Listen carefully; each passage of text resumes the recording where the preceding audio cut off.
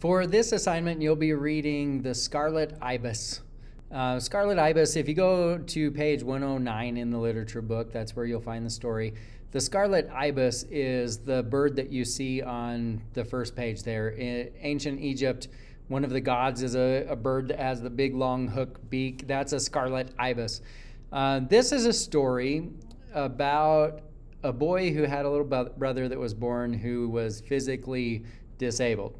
And they named him, his nickname was Doodle because uh, he crawls around like a doodle bug. This was written in the South, uh, about the South, anyways, back in World War One time period. Um, excuse me, World War Two, and the the times are a little bit different. So this boy, the the older brother, is six years old when Doodle is born, and Doodle they don't think is going to live very long. He ends up being able to live, and they, eventually they he and his brother are playing together and they create a little cart that he pulls around on. He takes him to the swamp where they like to play together. Uh, and and his, the older brother eventually teaches the younger brother how to walk. But the truth is, no matter how much, how hard they work or what they do, the younger brother is not physically capable of becoming just a regular, normal person. And, and in the end, it leads to tragedy.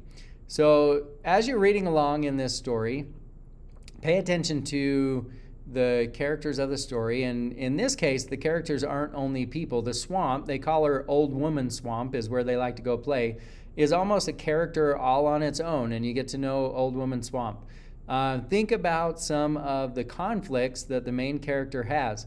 Yes, he wants his younger brother to be normal so that he can do all of the things that all the other boys do but his motives aren't necessarily great motives. He wants his younger brother to be normal because he doesn't want to be ashamed of him. And he admits that to himself as he as he relays this this story to us. Uh, think about Doodle and what his motivations are and why he works so hard and what he's trying to do. Because uh, ultimately, I think he just wants his brother to love him and be proud of him, right?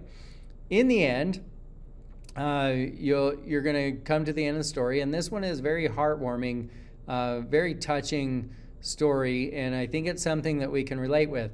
The forewarning: the culture was different in those days compared to ours. So there's a part in here where he finds out that his little brother that was just born is an invalid, meaning that he can't physically do anything.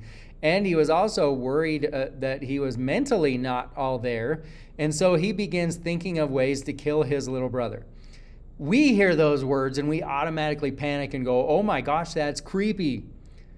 But if you have siblings, you know that you've thought at some time, man, my life would be so much better if my brother weren't there to beat me up or make fun of me or blah, blah, blah, blah. That's all he's talking about. So don't get overly sensitive when he says, I began to think of ways to kill my brother it's not a big, dark, devious, he's a murderer. He's a regular kid who doesn't understand the implications of life and death and just thinks that his life would be better and easier if he didn't have a brother that was physically disabled. That's all that we're talking about, right? Once you finish reading the story, have a good cry, work it out, and then uh, move on to the project piece. I want you to imagine a different ending for the story where Doodle and, his older brother remain close and grow up to be older uh, adults and, and everything goes well, right? Uh, I want you to imagine that it's been years since they've seen each other. Since the end of this story, we're going to say that it just ends differently, so they're both they both move on uh, with their lives. And it's been years since they've seen each other and the main character receives a postcard from his brother Doodle. Uh, Doodle has a right to feel hurt. He's got a right to feel angry.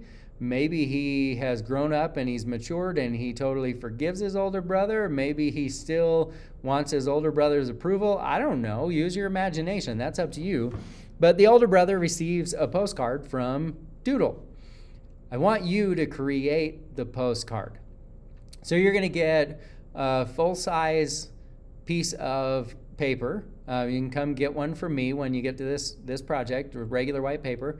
Create a postcard. So on one side of it, you're going to have North Carolina. That's where this took place, and you're you've seen postcards. They have uh, "Welcome to North Carolina," and it has some some scenes um, painted on there, drawn on the postcard. And then when you flip it over, you have the postcard, the letter from Doodle. So you're going to write the letter as if you're Doodle writing to your brother for the first time in years since you've seen each other. Okay? Let your imagination dictate where this is going to go. Uh, and do your best on this project. We'll hang these up in the hallway so people can see them. Uh, so just think about what would Doodle say, what would Doodle think, and what would it mean for him to write a postcard to his brother.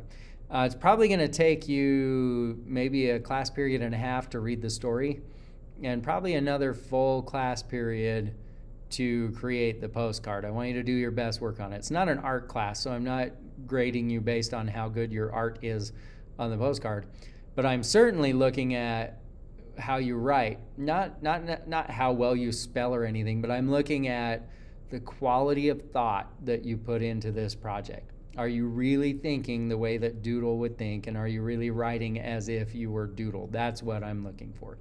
When you finish, turn that in to me uh, just in your name tag, and that will be great. I can't wait to see what you come up with.